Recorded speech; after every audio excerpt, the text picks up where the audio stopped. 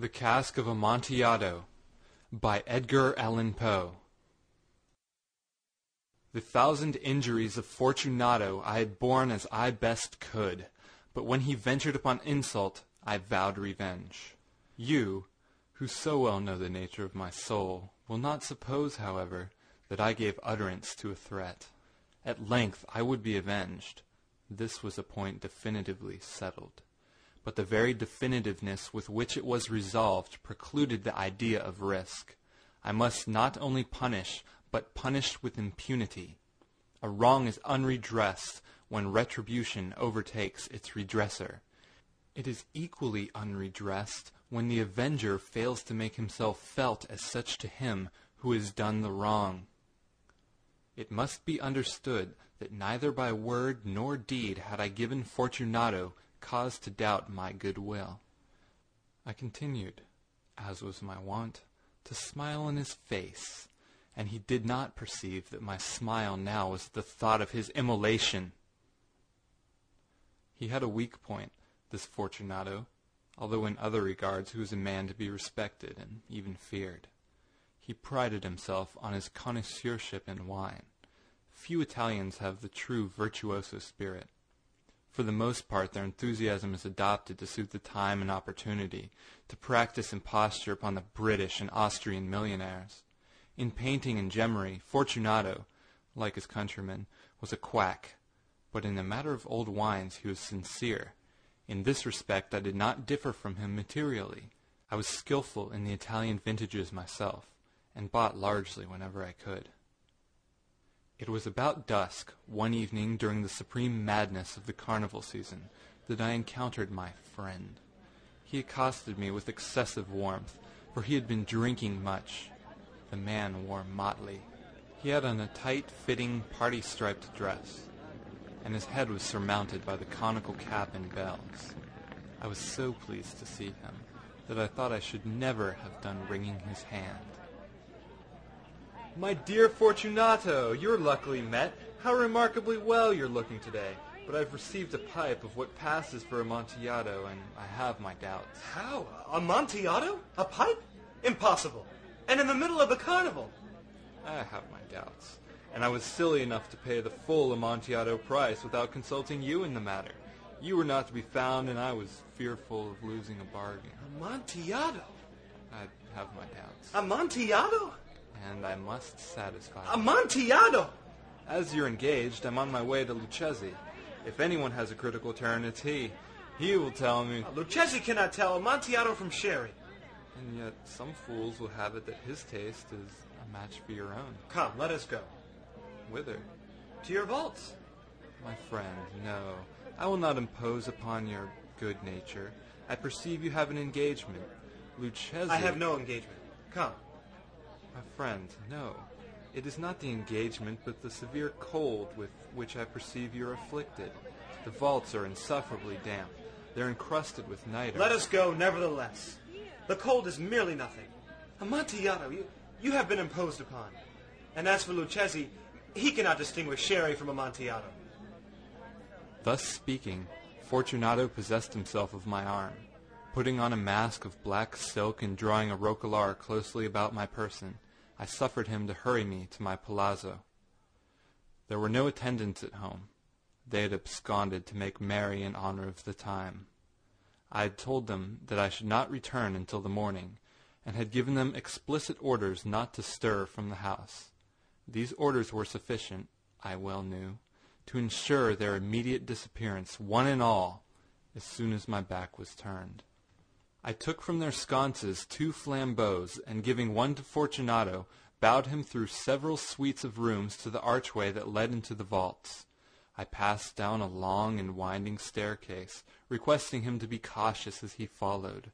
We came at length to the foot of the descent, and stood together on the damp grounds of the catacombs of the Montresors. The gait of my friend was unsteady, and the bells upon his cap jingled as he strode. The pipe? It is farther on, but observe the white webwork which gleams from these cavern walls. He turned towards me and looked into my eyes with two filmy orbs that distilled the rheum of intoxication. Niter? Niter. How long have you had that cough? Oh,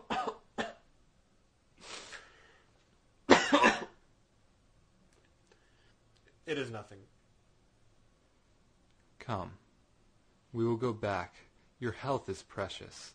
You are rich, respected, admired, beloved. You are happy, as I once was. You are a man to be missed. For me it is no matter. We will go back. You will be ill, and I cannot be responsible. Besides, there's Lucchesi. Enough. The, the cough's a mere nothing. It, it will not kill me. I shall not die of a cough. True, true. And indeed, I had no intention of alarming you unnecessarily.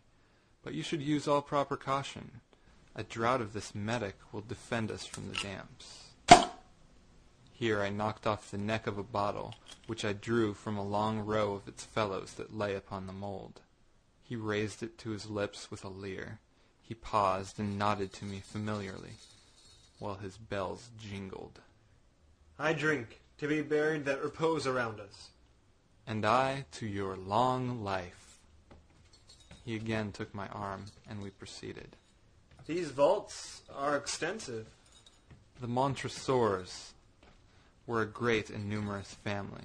I forget your arms. A huge human foot d'or in a field azure. The foot crushes a serpent rampant whose fangs are embedded in the heel. And the motto? Nemo me impune lacessit. Good. The wine sparkled in his eyes and the bells jingled. My own fancy grew warm with the Medoc.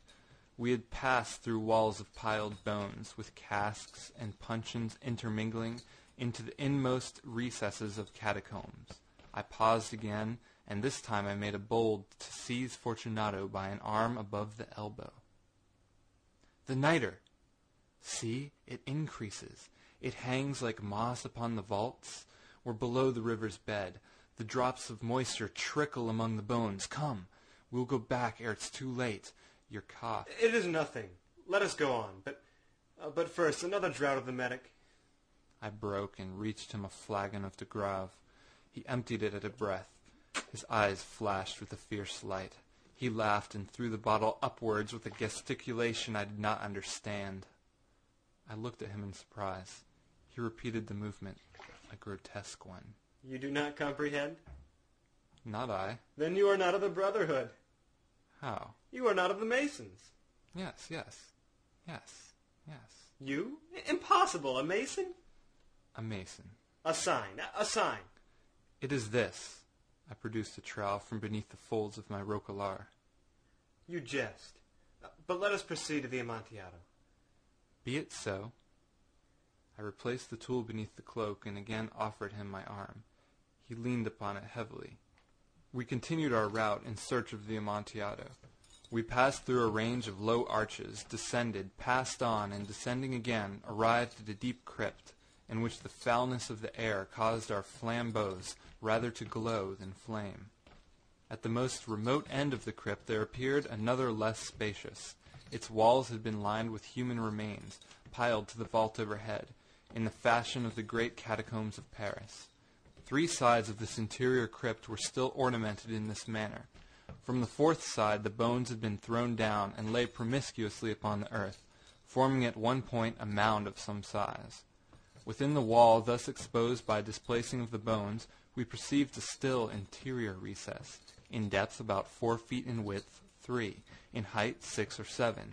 It seemed to have been constructed for no special use within itself, but formed merely the interval between the two colossal supports of the roof of the catacombs, and was backed by one of their circumscribing walls of solid granite. It was in vain that Fortunato, uplifting his dull torch, endeavored to pry into the depth of the recess. Its termination the feeble light did not enable us to see. Proceed. Herein is the Amontillado. As for Lucchesi, He is an ignoramus. he stepped unsteadily forward, while I followed immediately at his heels. In an instant he had reached the extremity of the niche, and finding his progress arrested by the rock, stood stupidly bewildered. A moment more, and I had fettered him to the granite. In its surface were two iron staples, distant from each other about two feet horizontally. From one of these depended a short chain, from the other a padlock. Throwing the links about his waist, it was but the work of a few seconds to secure it. He was too much astounded to resist. Withdrawing the key, I stepped back from the recess. Pass your hand.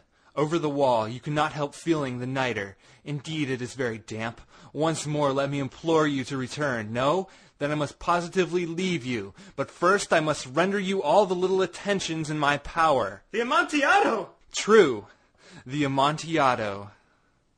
As I said these words, I busied myself among the pile of bones of which I have before spoken. Throwing them aside, I soon uncovered a quantity of building stone and mortar. With these materials, and with the aid of my trowel, I began vigorously to wall up the entrance of the niche.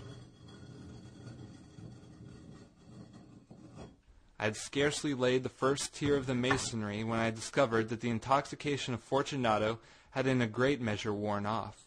The earliest indication I had of this was a low moaning cry from the depth of the recess. It was not the cry of a drunken man. There was then a long and obstinate silence.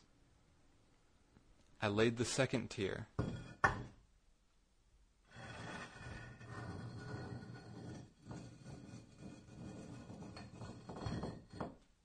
And the third.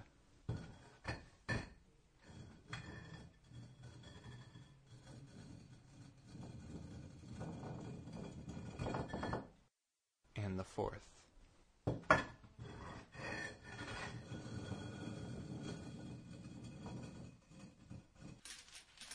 and then I heard the furious vibrations of the chain.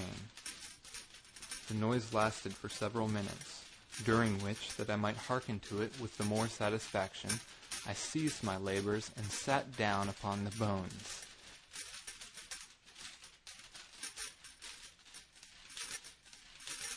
When at last the clanking subsided, I resumed the trowel, and finished without interruption the fifth, the sixth, and the seventh tier.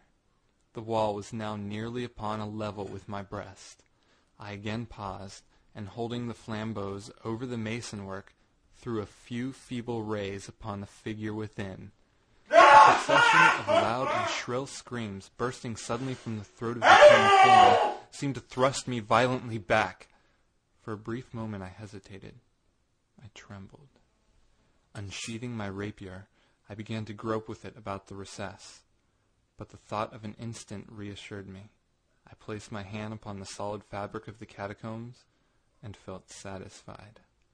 I reapproached the wall. I replied to the yells of him who clamored. I re-echoed. I aided. I surpassed them in volume and in strength. I did this, and the clamorer grew still. It was now midnight and my task was drawing to a close. I had completed the eighth, the ninth, and the tenth tier. I had finished a portion of the last and the eleventh. There remained but a single stone to be fitted and plastered in. I struggled with its weight, placed it partially in its destined position. But now there came from out the niche a low laugh that erected the hairs upon my head.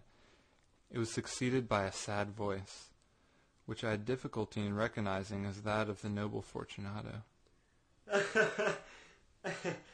a very good joke indeed, an excellent jest. We will have many a rich laugh about it at the palazzo, over our wine. the Amontillado. yes, the Amontillado. Oh, but is it now getting late? Will not they be waiting us, awaiting us at the palazzo, the, the lady Fortunato and the rest? Let us be gone. Yes, let us be gone.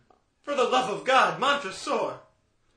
Yes, for the love of God. But to these words I hearkened in vain for a reply. I grew impatient. Fortunato! No answer. Fortunato! No answer still. I thrust the torch through the remaining aperture and let it fall within. There came forth in reply only a jingling of the bells. My heart grew sick on account of the dampness of the catacombs. I hastened to make an end to my labor. I forced the last stone into its position. I plastered it up. Against the new masonry I re-erected the old rampart of bones. For the half of a century no mortal has disturbed them. In pace requiescat.